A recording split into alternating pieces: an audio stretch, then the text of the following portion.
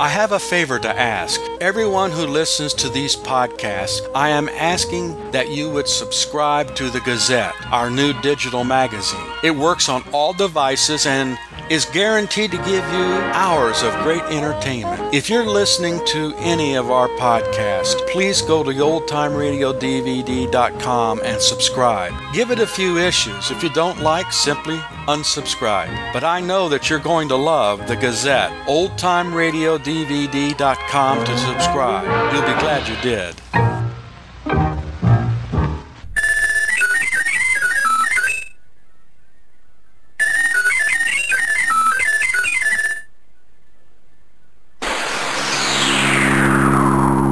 Earth Search, a 10-part adventure serial in time and space by James Follett. For his own greedy reasons, Emperor Thornton has joined Telson, Shana, Darv and Astra on the Challenger in their search for the planet Earth. All five have been put into suspended animation as the starship heads for the star cluster Tursus 9, watched over by the ship's two guardian angels. Earth Search Part 6, Across the Abyss.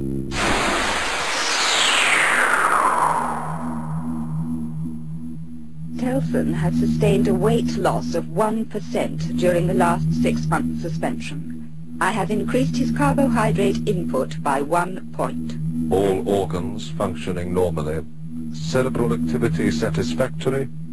All hormone balances satisfactory considering the speed we have advanced into full sexual maturity. You are satisfied, number two? I am satisfied. Lower him into the biostatic tank.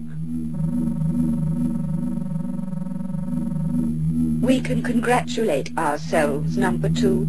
All five are in excellent condition. Are you ready to proceed with the activation of Shana? Ready, number one. Dalthon administered. Dosage level 5. Shana will be at consciousness threshold 3 in 5 seconds.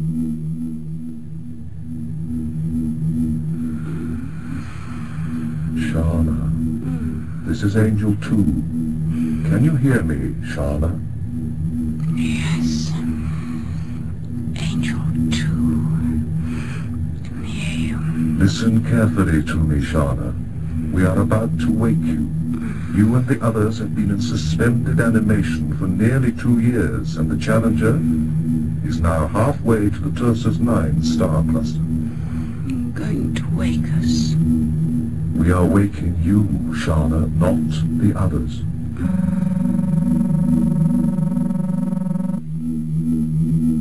Dosage level 7. She will be at consciousness threshold 2 in 5 seconds.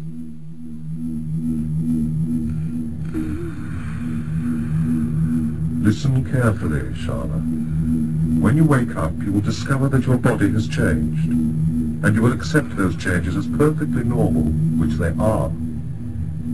I don't understand. I don't know what you... Let me speak to her. Shana, listen to me. Place your hands on your chest. That's right. Can you feel how you've changed, Shana? No! no, wrong's ugly. You're not ugly, Shana. You're now very beautiful. So very beautiful. And when you wake up, you will think of yourself as being perfectly normal. Do you understand?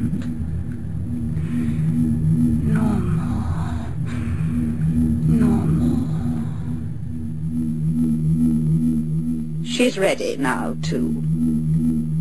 Full consciousness in 5 seconds from now.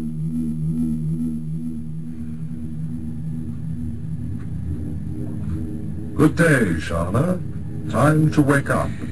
Oh, good day to you, Angel 2. Hey, what's going on? Why am I the only one awake? We need you in the observatory, Shana.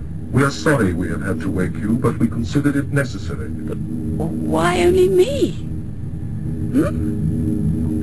Have we reached the star cluster? Not yet. After your massage, a service android will bring you a meal in the observatory. We will explain there.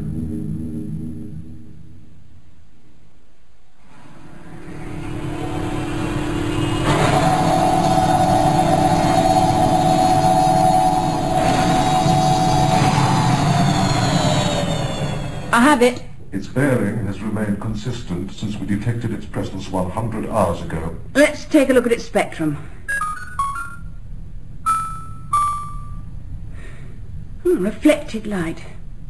What's its absolute magnitude period? 190 seconds. It could be a regular body with irregular surface coloring or an irregular body. Whatever it is, it is rotating. Hmm. Range over a thousand million miles. We will be overhauling it in 30 hours at our present convergence rate. No for debris or asteroid. Possible, but unlikely. This region is relatively clear of matter. The particle sweeps have hardly replenished the reservoirs. We're okay for mass. Yes, So, wh- what do we do about that thing? Angel One and I believe that it might be a ship. We have signaled it on all bands. We have allowed several four-hour time delay periods between each set of signals, but there has been no response. Just a minute. The observatory auxiliaries will confirm our findings regarding its size. About the same size as the Challenger, it seems. You were right to wake me, Angel 2. Thank you. We'll carry out another observation in 15 hours, hmm? And there should be a, a 50% improvement in resolution by then. If it is another ship, she is certain to insist that we bring the others out of suspended animation. Therefore, if we are to move against Thornton, we must do it now. We will attribute his death to the fact that we did not know enough about his metabolism to sustain him in suspended animation. He is a newcomer.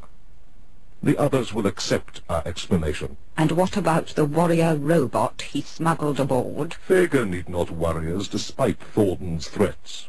It is a crude device. How is it to know its master is not in a permanent state of suspended animation? We have lost track of that robot. We have now no idea where it is hiding. There are hundreds of disused galleries throughout the ship, and Fagor is obviously clever enough to know which ones are unmonitored. He is still operated by a comparatively simple program Thornton trusted it to look after him while he was in a state of suspended animation. because he had no option. In any case, no one would be foolish enough to build a warrior robot which can self-activate its weapons systems. So, we destroy Thornton. If we find the planet Earth, Thornton will want to conquer it. The Earth is a very beautiful and very large planet, but not large enough to accommodate Thornton's ambitions and ours.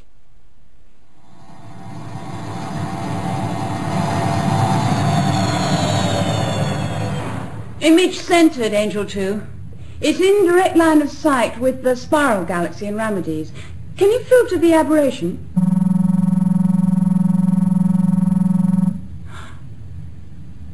I don't believe it. Angel 2, generate the image in the isolation field. I want a good look at it. The odds against such an encounter are immense. I'm not interested. I want the others brought out of suspended animation, immediately. When you wake, You will awake. you will find that your body There will has have been changed, changes in your physical and you will appearance think that you will nothing of it. It will seem You will not worry about normal. the changes that have taken place. Perfectly normal. Find You will not normal. worry. The changes had started Astra. before you slept, Astra, you are now a beautiful young woman. Now they are complete. Are complete. You will not You worry. will not worry. You will think of yourself normal. and the others as being normal. Normal. Normal. Normal. Normal. Normal.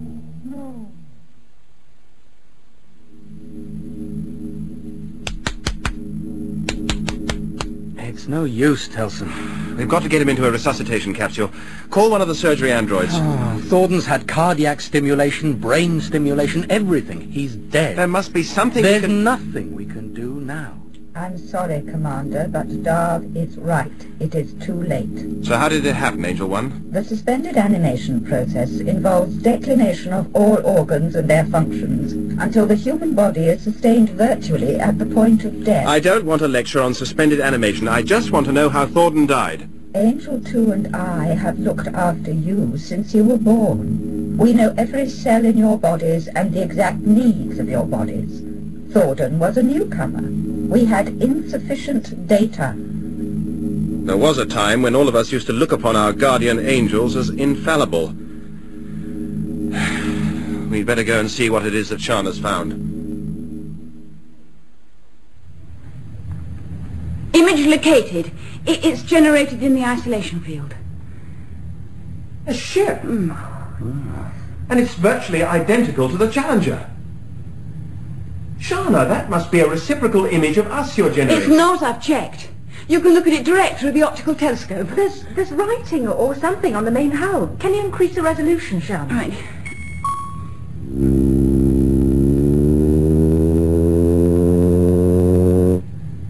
Challenger 2. Wow. It's our sister ship. The, the Sentinel on the moon mentioned Challenger 2. Yes, but it told us that Challenger 2 returned to Earth. Maybe... Oh, no, no, it's too absurd. What? Well, look, our grandparents set off from Earth in this ship to search for an Earth-like planet, right? So? We now know a million years have passed on Earth. Enough time for Earth technology to take the entire planet out of the solar system. Yes, yes. So, what if during that time Challenger 2 returned as planned, was refitted and sent out on another mission? And there it is now, a drifting derelict. So what happened to it? Probably the same thing that happened to us. Its guardian angels took over. Darv. Why do you think it's derelict, Shana? It hasn't answered our signals. And it looks as if it was struck by a meteoroid so large that its shields couldn't cope. You see the damage it's caused. No, that's not meteoroid damage. Eh? Uh, let's have a close-up of the damaged area. Right. Darv's right. If you look at the damage, you can see that it's been caused by separate internal blasts. Thousands of them. Shana, you and I had better go to the main control room and find out how much time and fuel we'll need to match course and velocity with that thing. You're not thinking of boarding it, Commander. It may provide a clue as to the whereabouts of Earth. But if there was trouble aboard and we got... Whatever else we may discover inside that ship is immaterial. Darv. Hmm. The water reservoir is my favorite place in the whole ship. Well, we've never explored the whole ship, so you don't know. Do you suppose that there's still hundreds of lakes all over the Earth? Hmm, well, you've seen the holograms. But that was the Earth of a million years ago. If I ever have a baby, I shall want to watch him playing with you in a real lake, under a real sun. Not like this. Well, first, we have to discover how babies happen. I think I know now. Oh, I wish you'd sit up when I'm talking to you. You think you know? Well, it's strange, but when we came out of suspended animation, I suddenly realized that I knew... Well, that I knew everything. Didn't you feel the same? All I want to know is why it is that you've forgotten about the Paradise recording. Because there's no such planet and there's no such recording. I'm telling you, Astra, there is. I saw it. God! I just saw a black android move behind those pipes on the other side of the reservoir. Black. You couldn't have. I'm telling you, I saw a huge black android, and it was moving without touching the ground. Look, Astra, none of the service androids are black. I know what I saw. It was fitted with a space drive unit and lasers. It was jet black. And it glared across at me just before it disappeared. Particle sweeps fully retracted and locked. Thank you, Darv. Angel 1, we're matched with Challenger 2. Separation, one decimal two miles. Can we risk jockeying closer? Well done, Commander. There is nothing to be gained by getting nearer. She has been in the wars. I'd say the wars have been in her. That maneuvering's cost us 25% of our propellant mass. Now the question is, where do we enter her with the shuttle? There's an intact freight bay on the right. See it? Yes, and there are plenty of large holes, big enough to edge the shuttle through. Oh, rather you than me. It won't be you. You and Astra and Shana will remain in the control room while I take a look inside. No, Telson. You're not going by yourself. I'm going with you. There's no point in risking two of us. There's no point in risking any of us. If you're going, then I'm going with you. And I don't want any argument. What are you smirking at, Darv? Me? Nothing, Commander. Angel 2, I have detected the warrior robot. Fagor, It has just passed through Bay 7. the doors to Bay 7 are locked. There is no airlock, and it is in a permanent state of vacuum since the great meteoroid strike. First it was in Bay 7, and then it was not. I doubt if Fagor concerns himself with doors if he wishes to move anywhere. He is a formidable sight, too, over ten feet high. Helan wasn't exaggerating about his powers after all. He is an android, number one. Androids are simple to dispose of. Fagor is no ordinary android, too. Perhaps he knows about the death of Thornton. Perhaps he has a facility for monitoring Thornton's brain rhythm activity. You are right to be concerned, number one. He has just passed through Corridor 21 by smashing straight through the bulkheads. And now he is moving along Corridor 8. It would appear that he is following the signs to the main control room. Shuttle to Challenger. Go ahead, Commander. How are the holograms we're sending you? Very good. The close-ups show that the damage was definitely caused by internal discharges of plasma weapons. Shana is lining up now. We should be entering the ship in two minutes. Out. We'll have a two-yard clearance all round, Telson. Forward three. Steady. Steady. Approach line loaded and locked. Lights. Lights on. Some mess, Shana. Forward five.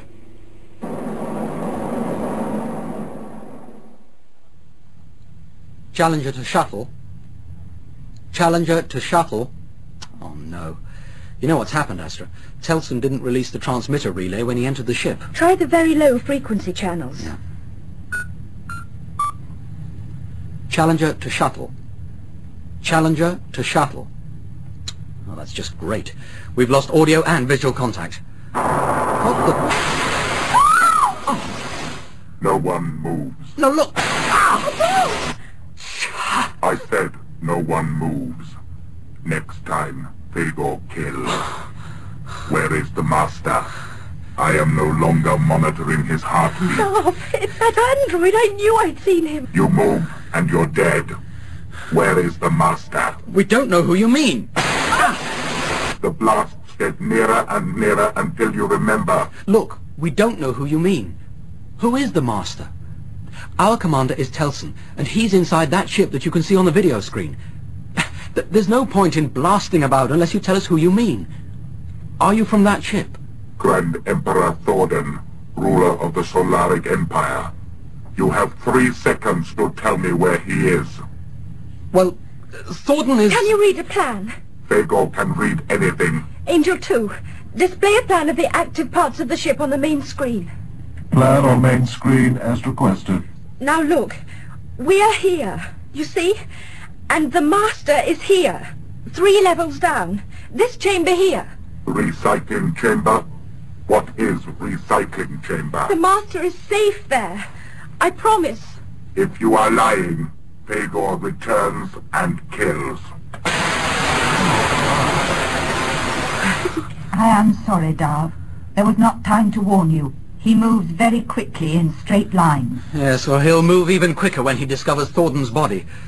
Uh, we're going to have to hide. And somehow we've got to get word to Telson and Shana that there's a piece of Thornton's nastiness on the loose, and that it's capable of breaking out of the ship if his thrusters are intended for moving in space. Darv, I have a suggestion to make. There is the space ferry Thornton used to board the Challenger. It is in Stowage Bay 4. Oh. God. We'll have to turn back, Shana. We can't go any further into the ship. Why, what's the matter? I forgot to release the relay transmitter receiver. Oh. We've lost contact with the Challenger. Well, we might as well press on and leave by another hole. We're certain to find one. Um, besides, Yes? well, this probably sounds silly, but... Well, I'm, I'm enjoying being with you. I was thinking the same. That's odd. What? Some gravity here, which means that some of the ship's systems are still working. Shana, set her down a minute. There's an intact freight airlock door straight ahead. Telson, the rear view screen, there's a door sliding shut. We're trapped. Uh, uh, maybe not. Ease her backwards. Ah, there. The door's opening. We're actually in an automatic airlock, Shana. Now, if you set the shuttle down in the center, we'll see what happens.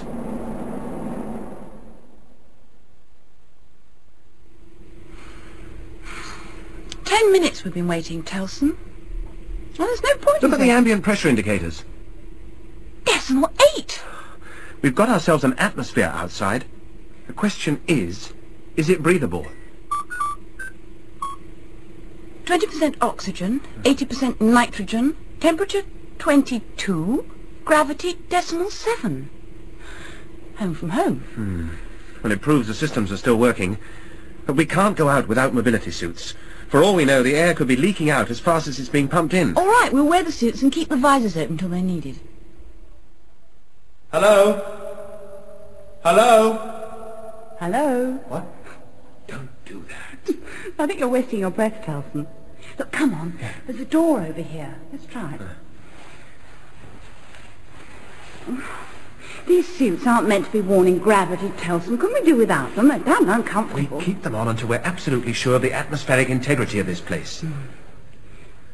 Touch panel to open door. Not yet, Shana. Take your PD weapon out of its We holster. don't need Do as I say. weapons. Now you can open the door. It'll be deserted. The ship's one vast tomb. Oh! I don't believe it. Telson, look.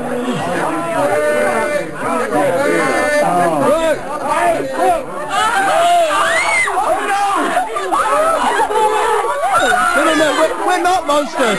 We're just like you. No, we don't mean to frighten you, please. Look, I'll take my helmet off. Have we walked into each other? We better go back. Shana, there's no sign of that door. Give kerosene. There must be a release somewhere.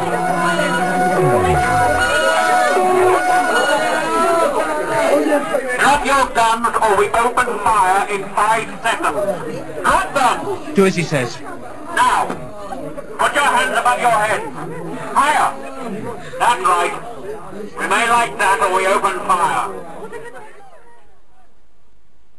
These are the two we picked up in the marketplace, sir. They give their names as Telson and Shana. The female is Shana, sir.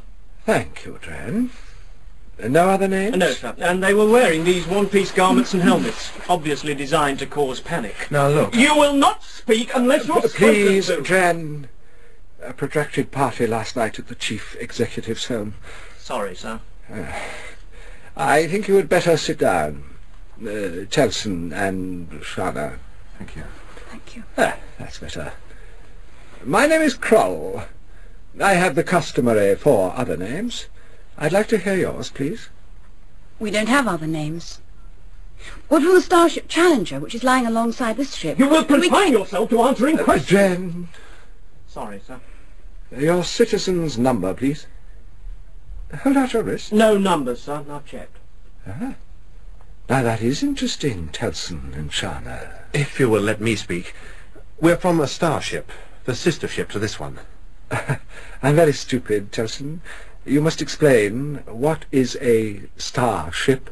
You mean... you mean you don't know? But you must know, you're living on one. on one what? A starship is... well, it's a ship that travels to the stars. Ah, yes, of course. And where are these stars? Perhaps you would like to tell me, Shana. The stars are in space. All of them? I don't think much of your sense of humour. I don't think much of under-people terrorizing the citizens of Holocaust City. What are under-people? Or under-people that insult my intelligence by telling me lies. These are their weapons, sir. They're similar to ours. We've tested them. The time is approaching when another war will be called for before they get too strong again. Can I ask you a question? Uh, by all means, Shana. Do you know what space is? But of course, my child. As captain of Holocaust City, I am entitled to more space than any other citizen. Uh, with the exception of the chief executive, of course. So you don't know what is beyond Holocaust City? The underworld. Filled with creatures such as yourselves. Look, if you would let us take you to our space shuttle, we could show you our ship and your ship. We could show you space and the stars. We can show you the entire heavens, billions upon billions of stars and galaxies shining out, the entire glory of the universe. It's no use, Telson. This concept of space you have, it's obviously very important to you. Well, of course space is important. It's where everything is. Including the underworld? Including Earth. Earth? Why, yes. Have you heard of it? Well, yes. Yes, we've heard of Earth. Is Earth important to you? We're searching for it. We were born in space on the Challenger, our starship, but the Earth is the home of our grandparents, our true home, if you like. And, and yours too, because you too must be descended from the people of the Earth. Ah, oh, if you'd said right at the beginning that you were searching for Earth, it would have saved misunderstanding all round. Then we can go? We'll send you on your way in the morning. But first, you must dine with me, as my guests of honor. Afterwards my servants will prepare a room for you. It's small, but I'm sure you will find it most comfortable. Telson, Hmm? it's dawn. Starting to get light. I wonder how they do that. Yes, some form of diffuse lighting radiated from the inside of the dome. It's probably controlled by computers that they don't know even exist. Good morning, Shana. Telson. I hope the bed was comfortable. Um, we didn't get much sleep thinking about Earth. Among other things. We can't really believe that we're on our way to Earth at last. Well, that's understandable. Are we ready? Now, no point in keeping you any longer. And there's a large crowd gathering in the marketplace to say farewell to you. You made quite an impression yesterday. I think we'll walk. It's not far.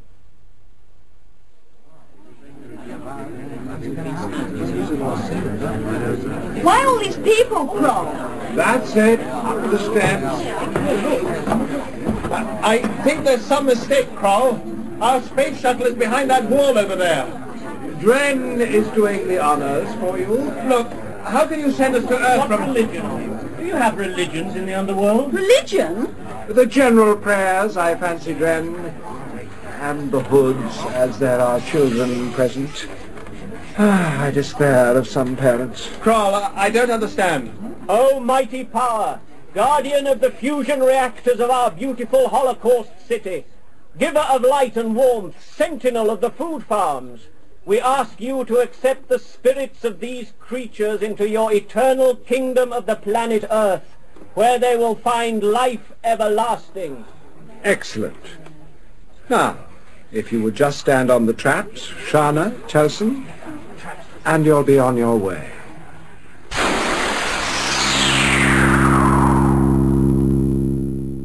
In Across the Abyss, Part 6 of Earth Search by James Follett, Sean Arnold played Commander Telson, Amanda Murray Shana, Hayden Wood Darv, and Catherine Hurlbut Astra. Angel 1 was played by Sonia Fraser, and Angel 2 by Gordon Reed. Fagor was Sean Probert, Kroll Michael Spice, and Dren John Webb. Earth Search is directed by Glyn Dearman.